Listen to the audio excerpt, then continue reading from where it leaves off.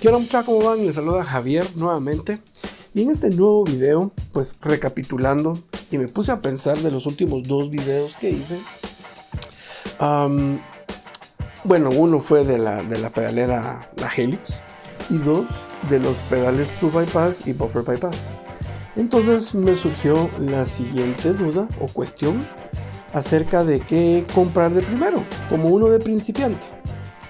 ¿Pedales individuales o una pedalera digital o todo en uno.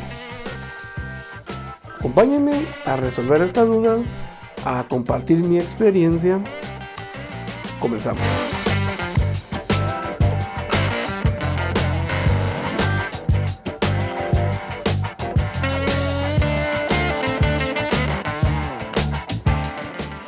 Por un lado tenemos los pedales individuales que si bien es cierto, son un poco más fieles a su, a su sonido, pero no es solo de escoger un pedal por aquí y un pedal por allá, sino que en mi, en mi experiencia creería que hay que, bueno, uno, determinar y hacerse las, y hacerse las siguientes preguntas.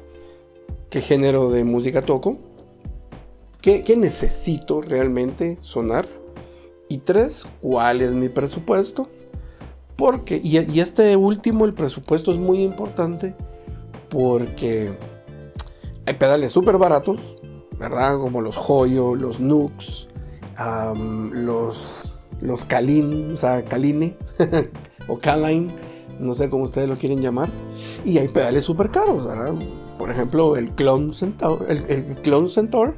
Y por el otro lado, pues tenemos pedaleras como la Helix, la Boss GT1000, la Joyo Genbox 3, em, en fin, son unos eh, sistemas todo en uno que al final del día pues resuelven y podemos obtener lo que necesitamos en una sola eh, caja, ¿verdad? O sea, al final del día tiene preamps, tiene pedales, tiene delays, tiene mm, reverbs, tiene modulaciones, o sea, todo en uno nos, nos resuelve lo que necesitamos y podemos tener diferentes géneros de música en una sola solución.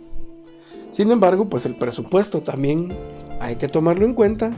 Como se los dije ahí en este video de la Helix, hay desde lo más barato, no sé, 200, 300 dólares, hasta comprarle el Quad Cortex o una, un Axe FX 3, que al final del día son 3 mil dólares para invertir. Supongamos que agarran el camino de los pedales individuales. Perfecto. Definamos el presupuesto. 100 dólares, 200 dólares. Y normalmente para comenzar a tocar, así desde lo más básico, necesitamos, en mi humilde opinión, por lo menos cuatro cosas. Bueno, uno, los pedales. Dos, una fuente de poder. Tres, cables. Y cuatro, cómo llevarlos o cómo transportarlos. Creo que este último se puede obviar en donde uno pues, lleva las cajitas, eh, lo pone en una mochila, en un bolso y pues ahí va todo y a la hora de estarlos tocando pues los conecta y se acabó el asunto. Eh, el tercero, ¿verdad? Que son los cables, como se los mencionaba en el, en el video del True, Bypass y Buffer Bypass. Al final del día, pues hay pedales, perdón, hay cables eh, que uno ya compra hechos y que, y que al final pues nos resuelven desde lo más barato hasta lo más caro o los que uno puede hacer. Dos, eh, cuántos pedales necesito. Aquí pues es muy subjetivo porque podamos tener presupuesto para un solo pedal o para dos pedales, ¿qué pedales comprar? Ya tenemos nuestra guitarra, ya tenemos nuestros cables, ya tenemos nuestro amplificador de dos canales. Entonces yo recomendaría pues una distorsión más pesada, eh, un delay o incluso solo el delay y una fuente de poder. Y aquí en la fuente de poder no me voy a extender tanto porque igual sería un video un poquito más extenso pero pues recomiendo el One Spot, ¿verdad? De que para iniciar, para iniciar. el One Spot, que es una solución todo en uno, porque tiene su transformador y puede alimentar eh, X cantidad de pedales hasta 1000 miliamperios. Hay marcas como Joyo ofrecen soluciones a las fuentes de poder un poco más profesionales y aisladas. ¿Qué me refiero con esto? Que el One Spot no es aislado y que puede pues ah, puede haber una interferencia en la señal y crear ruido dentro de tu señal. En cambio, estas Joyo y otras marcas eh, chinas, pues y más baratas al final del día, eh, pues son fuentes aisladas o corrientes aisladas y protegen un poquito más esas interferencias de señales que pues esas todo en uno como el tipo One Spot. Retomando el tema, pues tenemos nuestra guitarra, tenemos nuestros cables, tenemos nuestro amplificador y tenemos nuestra fuente de poder. Acaban las cuatro cosas. Em, guitarra, ampli, cables, fuente de poder, pedal, cinco cosas. Entonces ya con esto pues podemos comenzar a trabajar y a buscar el sonido que necesitamos. No necesariamente al conectar el pedal pues vamos a sonar igual que nuestros ídolos guitarristas, pero nos podemos acercar un poquito más con la ecualización que tiene el amplificador. Bueno, ¿y qué pasa si decidimos optar por una pedalera? Aquí lo primero que hay que definir es el presupuesto para invertir, porque recordemos que ya tenemos nuestra guitarra y nuestro amplificador, y básicamente la mayoría de pedaleras eh, funcionan muy bien con cualquier amplificador que tenga un canal limpio o mejor aún si tiene eh, un effects loop, pero pues ya depende de la pedalera. Y supongamos que tenemos 200 eh, dólares. Creo que con 200 dólares conseguimos algo bueno, aguantador y algo que sea, pues, se acople a mi presupuesto para poder hacer los sonidos que ando buscando. Y en este caso yo recomendaría, por ejemplo, para iniciar, ya sea una, una Joyo Genbox 2, que es un poquito pequeña, que tiene, muy, tiene sonidos muy similares a la Genbox 3, incluso la Muir, la, no me acuerdo si es la 200 o la 150, que también es bien versátil. Eh, hay una Nux también que tiene su pedal de expresión y dos botones, incluso una pantalla digital donde uno ve los, los bloquecitos de amplificadores o de efectos que estamos utilizando. Y aquí súper sencillo, de la guitarra vamos a la pedalera y de la pedalera vamos al amplificador y se acabó el asunto. Obviamente si tenemos un poco más de presupuesto, pues ya vamos a optar por una pedalera un poquito más robusta, con mayor capacidad de edición y sobre todo pues especificaciones que las pedaleras de, principiantes no, no tienen. No, con esto quiero decir que sean peores, pero obviamente se expande la capacidad para poder obtener el sonido que andamos buscando. No quiero enfocarme aquí que este tiene el editor en línea y este no, porque hoy por hoy la mayoría de pedaleras ya tienen su editor en la computadora. La única diferencia es cómo se edita. Eh, o, obviamente, cómo es que se obtiene esos sonidos para poderlos tweakear. Pero supongamos que, tenemos 500 dólares y ese es el siguiente nivel. Aquí podemos optar a una Genbox 3 podemos optar a una Muer ya 300, eh, a la Nux un poquito más eh, chilera, hay unas pedaleras Zoom, em, se podrían encontrar pedaleras de segunda mano como las Line 6, em, como las Digitech, hay unas Boss que todavía siguen en el mercado, incluso recomendaría una GT8 porque suenan increíble. Y obviamente pues hay que buscar esas especificaciones adicionales actuales. Yo recomendaría buscar una pedalera que ya tuviera salida XLR para no solo utilizar el amplificador como un monitor personal, sino también ya ir al, al PA de, donde vamos a tocar, si es que lo tienen.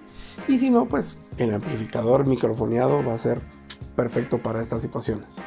Obviamente si tenemos un poco más de presupuesto, tal vez de unos mil dólares en adelante, pues aquí ya podemos optar a una, una Helix, a una Pod Go, a ciertas marcas que obviamente ya tienen un poco más de capacidad. Hablemos un poco de los pros y contras de cada sistema. Y comencemos con las pedaleras todo en uno. Pros tienen un montón de efectos y la solución está ahí. Se acabó. Contras, hay mucho tiempo que invertir para aprender a utilizarla y entender cómo es que funciona. Dos, hay que tener em, mucha paciencia. Tres, hay que saberla conectar al amplificador. Y aquí pues podría ser otro video solo hablar de cómo conectar una pedalera a un amplificador para setearla muy a detalle. Porque hay pedaleras que por ejemplo tienen la opción de no utilizar los, las salidas que ellas les dicen como específicas sino que van a una salida lineal y en mi caso de la GT8 y posiblemente así lo vaya a hacer con la Helix que se conecte al Effects Return del amplificador. ¿Qué me refiero con esto? Que el amplificador está siendo utilizado únicamente en la parte del poder y la bocina. Todos los controles quedan obsoletos y se acabó el asunto. Ahora hablemos del sistema de pedales individuales. Y comencemos con los contras, porque son muchos, pero también el pro que tienen es que lo ven a uno como más profesionales y obviamente ya seteado uno puede cambiar el seteo al chilazo o rápidamente mientras uno está tocando y ya cambiando ahí los seteos de cada pedal. Pero con los contras, uno, el presupuesto se va a elevar porque uno entretiene cierta cantidad de pedales y puede estar contento. Pero ¿qué pasa si para el siguiente toque se agregan canciones eh, propias o de covers y que no, uno no tiene el pedal que usa ese cover? Hay que invertir para poderlo tener. No quiero decir que eso sea todo el tiempo. Hay que aprovechar los recursos que se tienen. Pero pues a mí me ha pasado en que mejor me aguanto a comprarlo y, lo invierto para después. Dos, si llega a haber algún problema de conexión, es mucho más difícil encontrar en dónde es que se encuentra ese problema. Recuerden que todos los cablecitos tienen hasta un tiempo de vida si son genéricos. Eh, o si uno los hace, pues uno ya puede ir testeándolos con el tiempo. Y obviamente, pues aquí el precio determina la calidad del cable. 3. Eh, uno puede setear los pedales en la casa, en los ensayos. Y si uno no deja señales en los pedales, llega al lugar a tocar y por alguna extraña razón en la bolsa del bolso que ustedes lo guardaron se mueve la perilla, va a sonar completamente diferente a lo que ustedes ya habían seteado. Eso es mucho ojo y ahí hay unos tips que, les podría compartir también. Y tres, obviamente la energía o fuente de energía del lugar donde van a tocar. Yo recomendaría utilizar em, un protector de voltaje o supresor de picos para que su fuente de poder aguante y que sus pedales no se quemen. Así de sencillo. Y ese creo que también va para la parte de las pedaleras porque pasa exactamente lo mismo. Pero Aquí no solo yo quiero hablar, sino que quiero escucharlos. ¿Qué prefieren ustedes? ¿O prefieren una combinación de los dos? Porque muchos guitarristas o bajistas utilizan eso, usan su pedalera y también incorporan pedales individuales al sistema. Y eso es totalmente válido. Entonces quisiera escucharlos, como se los decía, dejen sus comentarios aquí en la parte de abajo. Y ya saben pues que si les gustó este video, le den me gusta, compártanlo con sus cuates Suscríbanse si no se han suscrito. Y pues nos vemos en el siguiente video.